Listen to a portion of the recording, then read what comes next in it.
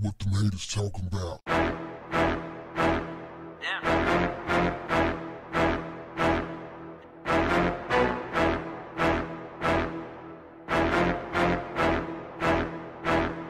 What's up, family? A New Mexico woman caught driving a stolen vehicle gave the police a fake name. Now, I know some of you are saying, well, what's the big deal, Willie D, man? People give police fake names all the time. Family.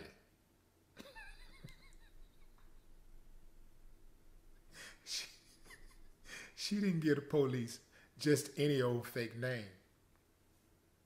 In fact, she gave the police a very real name, a very popular name. This woman fixed her mouth to tell the police that she was Beyonce Knowles.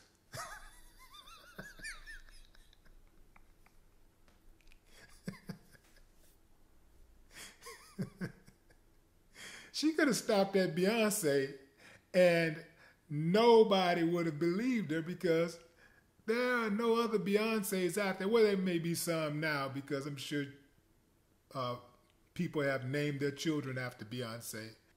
48 year old Serena Henry of the 1400 block of Alamo Street is charged with one count of the unlawful taking of a motor vehicle, a felony, one count of concealing identity, a petty misdemeanor, and resisting or obstructing an arrest.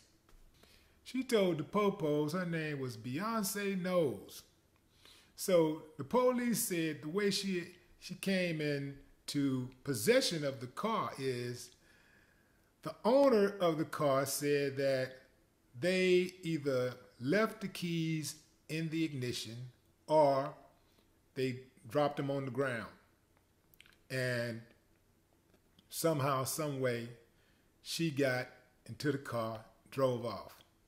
Now, when the police caught up with her, they caught her at her house. The police got behind her and hit the lights. she kept going all the way to her house. she gets out the car. at her house, dog.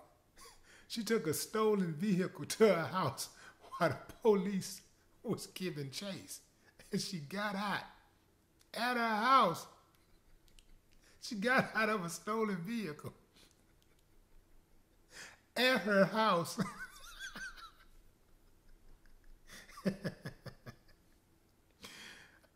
she gonna definitely end up on world's dumbest criminals. Got to be, man. Oh man. I know I hope Isaiah Carey has seen this story. If he hasn't, I gotta send it to him because he would put on crazy ass criminals. Man. So the police asked her, why didn't she stop? Here come another one, family. Watch me, watch me, watch me. you ready for an answer? She said, I,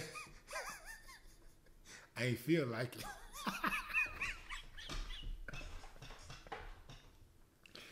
oh, man. Woo. The woman told the police she didn't feel like stopping. That's why she didn't stop.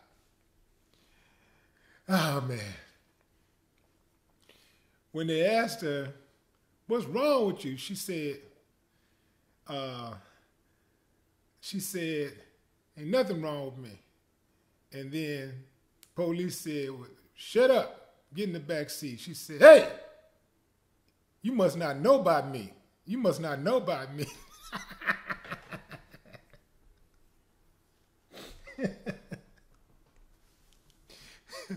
when she got to jail, it was uh she saw a couple of uh other ladies in there and she she broke out and she started saying, All my single ladies.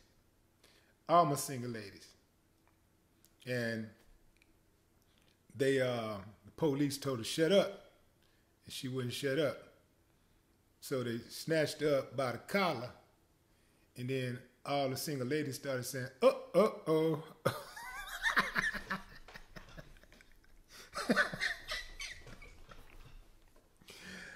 Family,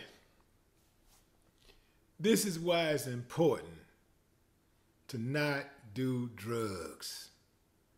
Kids, do not do drugs. It is very important that you understand that there are serious repercussions for drug use. Just say no. Court records revealed that Serena saw the keys inside of the car and decided to take it for a joyride. I can see I can see Serena right now standing in court before the judge. My mama said I can be anybody I want to be, so I want to be Beyonce. no more talk. What, the talking about?